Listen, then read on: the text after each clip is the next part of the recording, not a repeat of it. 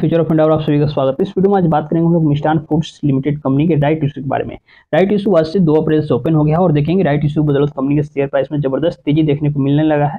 इस तेज़ी के और कंपनी के काम धाम फंडामेंटल को किसी और वीडियो में डिस्कस करेंगे। अभी और अभी सिर्फ़ बात होगी इसके राइट इशू के बारे में, जो कि आज से दो अप्रैल से ओपन हुआ है। मैं बताऊँगा राइट इशू में आपको कैसे अप्लाई करना है, नहीं अप्लाई करेंगे तो क्या नुकसान हो सकता है। आज दो अप्रैल है तो आज से चूँकि इशू ओपन हुआ है तो आपको जो एक्स्ट्रा शेयर्स मिलने थे, जो आर शेयर्स आपको मिलने थे, जितने भी शेयर्स वो आपके डीमेट अकाउंट में आज से दिखने लगे होंगे, जो मतलब इसके लिए एलिजिबल होंगे, क्योंकि जब भी राइट इशू आता है तो कंपनी उसके लिए कुछ रेशियो रखती है। उस रेशियो के हिसाब से यदि आप एलिजिबल हैं, तभी आपको एक्स्ट्रा शेयर्स मिलता है और उसमें आप अप्लाई कर सकते हैं। तो जो लोग एलिजिबल हैं, उनको राइट इशू के शेयर्स दिखने लगे। हालाँकि जो लोग नहीं एलिजिबल हैं, वो भी अलग से राइट इशू में अप्लाई कर सकते हैं। मैं वो विधि भी आपको बताऊँगा। तो अगर आर शेयर्स आपको मिल गए हैं तो और नहीं अप्लाई करना है उसमें तो आप इस आरी शेयर्स को बेच दीजिएगा। बेचने का जो डेट है वो मैं डेट भी बता दूँगा, नहीं बेचेंगे ना तो ये जो आरी शेयर्स जो एक्स्ट्रा शेयर्स आपको मिले हैं या जो आप बाई करेंगे, वो फिर एक तय समय के बाद आपके डिमेट अकाउंट से गायब हो जाएँगे। इसलिए नहीं अप्लाई करना है तो बेच दीजिएगा और अप्लाई करना है तब मत बेचिएगा। आप तय समय से पहले उसमें अप्लाई कर दीजिएगा। मैं आपको संपूर्ण डेट बताऊँगा कब से कब इसको बेचना है, कब तक अप्लाई करने का लास्ट डेट है, कैसे अप्लाई करना है, नहीं अप्लाई करेंगे तो क्या हो सकता है, तमाम चीज़ों को इस वीडियो में आसान भाषा बताने वाला हूँ। चलिए शुरू से शुरू करते हैं। अब देखिए, यहाँ पर हमने मिस्टान फूड्स लिमिटेड के राइट इशू का संपूर्ण डिटेल ओपन कर लिया हुआ है। राइट इशू का मतलब ये होता है, जब भी किसी कंपनी को पैसों की ज़रूरत पड़ती है तो कंपनी कई तरीके से पैसे को जुटा सकती है, आईपीओ के ज़रिए, एफपीओ के ज़रिए और राइट इशू के ज़रिए। तो राइट इशू एक आसान सा तरीका होता है तो इसलिए कंपनी राइट इशू लेकर आई है और इस राइट इशू के ज़रिए कंपनी तकरीबन पचास करोड़ रुपए जुटाने जा रही है। और इस पैसों का कंपनी करेगी क्या? कंपनी के पास यदि बहुत बड़ा डेप्ट नहीं है कंपनी को कोई कर्जा नहीं चुकाना है तो कंपनी जो राइट इशू से पैसा जुटाती है, इसका यूज़ कंपनी अपने बिज़नेस को एक्सपेंड करने में करती है तो ये बढ़िया चीज़ होता है। इसको राइट्स इशू इसलिए कहते हैं क्योंकि इसके जो पहला राइट्स होता है, वो कंपनी के इन्वेस्टर्स का होता है। इन्वेस्टर्स यानी कि जिन लोगों ने इस कंपनी के शेयर्स को पहले से बाई कर रखा है। इनका पहला राइट्स इसलिए होता है क्योंकि कंपनी पहले इनके पास आती है। राइट इश्यू में सिर्फ़ और सिर्फ़ कंपनी के जो इन्वेस्टर्स होते हैं, जिनके पास कंपनी के शेयर्स होते हैं, उनसे ही ये पैसा लिया जाता है। बदले में कंपनी कुछ शेयर्स इनको दे देती है। और ये जो शेयर्स जो जैसे मैं शुरू में बताया ना कि आपको कुछ आरी एक्स्ट्रा शेयर्स मिलेंगे जिसको राइट इंटाइटलमेंट का शेयर्स कहते हैं, ये जो आरी शेयर्स जो एक्स्ट्रा शेयर्स कंपनी आपको देती है, इसमें आपको अप्लाई करना पड़ता है।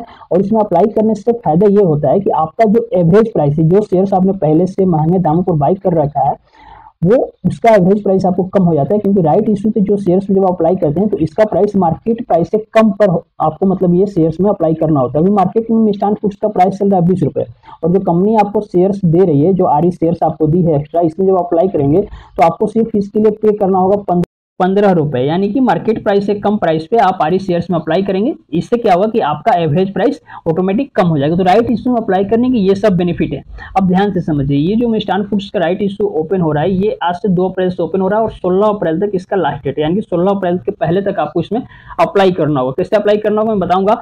कितना रुपया कंपनी उठाने जा रही है इस राइट इशू से? पचास करोड़ रुपए उठाने जा रही है। और प्राइस इसका रखा गया है इशू प्राइस पंद्रह रुपए, जैसे मैंने आपको बताया कि जो एक्स्ट्रा शेयर्स आपको मिले हैं, या नहीं भी आपको एक्स्ट्रा शेयर्स मिले हैं, आप इस सारी शेयर्स पर अप्लाई करने जाएँगे तो अलग से राइट इशू का मिस्टान फूड्स का शेयर्स मिलेगा, पंद्रह रुपए में आप इसको बाई कर सकते हैं।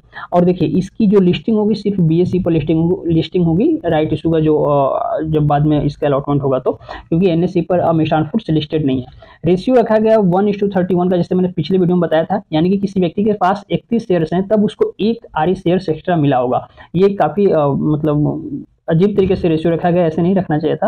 हो सकता है किसी व्यक्ति के पास तीस शेयर्स हो तो उसका तो छूट गया, या किसी व्यक्ति के पास तीस शेयर्स भी नहीं हो, दस शेयर्स हो तो वो फिर आई में अप्लाई नहीं कर पाएगा। हालाँकि ये रेशियो बहुत गलत तरीके से लाया गया इसको थोड़ा सही से रखना चाहिए था।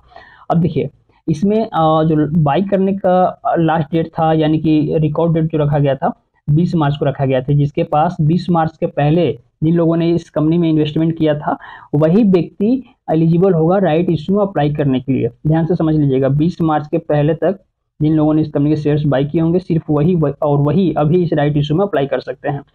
Credit of right entitlement shares का अभी कोई डेट नहीं है, हालाँकि इसमें तकरीबन दो सप्ताह का टाइम लग जाता है जब आप अप्लाई करते हैं तब से लेके। और इसमें देखेंगे तो रिनंसिएशन ऑफ़ राइट इंटाइटलमेंट्स का जो टाइम है, सोलह अप्रैल है। हालाँकि आपको इसको बेचना होगा तकरीबन तेरह, चौदह अप्रैल तक बेच दीजिएगा। यानी कि जो आर शेयर्स, जो एक्स्ट्रा शेयर्स आपको मिले हैं, यदि आप नहीं अप्लाई करना चाहते हैं तो उसको तेरह अप्रैल तक बेच दीजिएगा, तेरह से चौदह अप्रैल तक। उसको कहते हैं रिनाउंसिएशन ऑफ़ राइट इंटाइटलमेंट्स नहीं बेचेंगे तो जो एक्स्ट्रा आर शेयर्स आपको मिले हैं, वो आपके डिमेट अकाउंट से तेरह अप्रैल के बाद हो सकता है नहीं दिखे, गायब हो जाए। तो फिर आप, क्या होगा कि दोनों तरीके से आपको नुकसान हो जाएगा। तो आप अप्लाई भी नहीं कर पाएँगे जिससे आपके एवरेज प्राइस कम नहीं होगा। और दूसरा जो एक्स्ट्रा शेयर्स मिला है उसको आपने बेचा भी नहीं, बेच देंगे तो आपको कुछ पैसा मिल जाएगा। इसलिए नहीं अप्लाई करना है तो ये सारी शेयर्स को ज़रूर बेच दीजिएगा। नहीं बेचेंगे तो फ्री में ये भी शेयर्स गायब हो जाएगा और अप्लाई भी नहीं कर पाएँगे। और आपको मैं बता दूँ कि आपके डिमिट अकाउंट में शेयर्स क्रिएट हो जाएगा 26 अप्रैल तक। लिस्टिंग हो जाएगा सात मई तक। थोड़ा समय लगता है लेंदी प्रोसेस होता है। लेकिन लास्ट डेट है, आप 16 अप्रैल तक आप ज़रूर अप्लाई कर लीजिएगा। अप्लाई करने के लिए आपको सिंपल आसबा का ऑप्शन आता है। आपके नेट बैंकिंग के थ्रू आप इसमें अप्लाई कर सकते हैं। जो भी बैंक आप यूज़ करते हैं, उससे कस्टमर केयर से बात कीजिएगा। कि मुझे नेट बैंकिंग समझ में नहीं आ रहा है। नेट बैंकिंग के बारे में बता देगा एप्लीकेशन डाउनलोड करना होगा, उसमें लॉगिन कीजिएगा, नेट बैंकिंग चालू हो जाएगा। वहाँ आसपा का ऑप्शन आएगा। आसपा का ऑप्शन ओपन करेंगे तो जितने भी राइट इशू वहाँ पे ओपन होंगे राइट इशू का डिटेल्स खुल जाएगा और वहाँ पे जाकर आप इसमें अप्लाई कर लीजिएगा। सिंपल यूट्यूब पे वीडियो देख लीजिएगा कैसे अप्लाई करते हैं, समझ में आ जाएगा। और बाकी आपको कुछ सवाल रह गया कुछ छूट गया तो कमेंट में ज़रूर पूछिएगा। मैं सारे व्यक्ति के कमेंट का रिप्लाई देता हूँ। इंस्टाग्राम पर भी जुड़कर बातें कर सकते हैं टेलीग्राम ज्वाइन कर सकते हैं। मिलते हैं अगले वीडियो में, तब तक लिए धन्यवाद, शुक्रिया।